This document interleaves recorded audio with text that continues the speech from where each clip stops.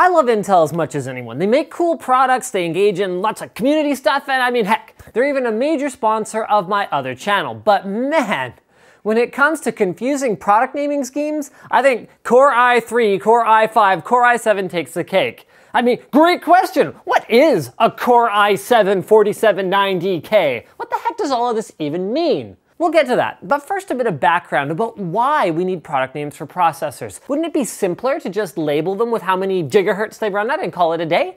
Simpler Sort of, but at times actually even more confusing. For example, when the Pentium 4 launched, an equivalently clocked Pentium 3 was actually faster because it could do more work with each cycle. As a customer, I would expect the product with the higher number to be the better one.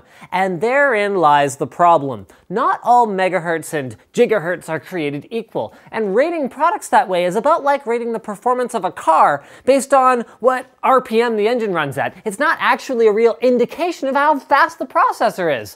But it happened. Now, one of AMD's attempts to move away from this started in the early 2000s with their PR or performance rating naming scheme, where their processors were given a four digit model number that enthusiasts believe was based on the performance AMD felt that they delivered compared to an Intel CPU of that clock speed. But this fixed nothing. They were still indirectly naming according to clock speed. And it wasn't until Intel introduced the Core series, a line of CPUs that dramatically outperformed their predecessors at much lower clocks that the megahertz war ended because Intel needed to shift their marketing away from frequency. So here's what we have today.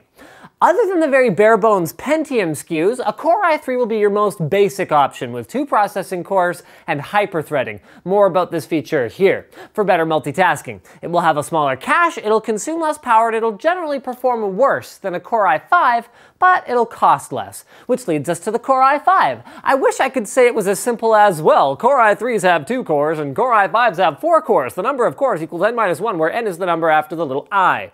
But it's not. Mobile Core i5s have two cores and hyperthreading, while desktop ones, mostly, have four cores and no hyperthreading. But what they all have in common is improved onboard graphics and turbo boost, more about this feature here, for temporary performance enhancements when your system needs a little bit more oomph. And with oomph in mind, Core i7s. Number one, all Core i7s have hyperthreading for heavy workloads, and number two, that's the noise your brain is gonna make as I finish my explanation here.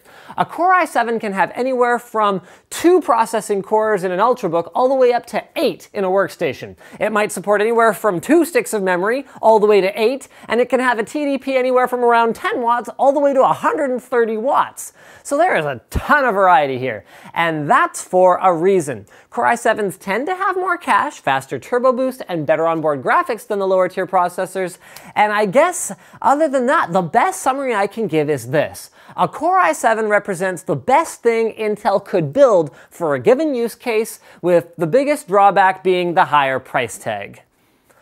So when you boil it down, that's all the I whatever numbers represent. Good, better, best within a given segment. Beyond that on their own, they're pretty much meaningless. The numbers and letters afterwards sort of mean something if you use the guide from before, but the safest way to shop is to dig around in ARK and look at the features, core counts, and clock speeds of the CPUs you're comparing to figure out how they stack up. With the good news being that as long as you compare within one brand and within the same product generation, those metrics will actually mean something something.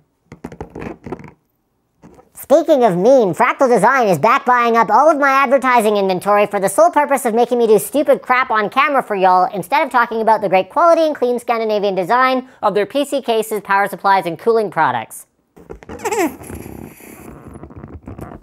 Mind you, I don't know who to be mad at at this point because it was you, not Fractal, who posted, let's make them do the sponsor spot on Helium on their Facebook page. I mean, thanks a lot, guys.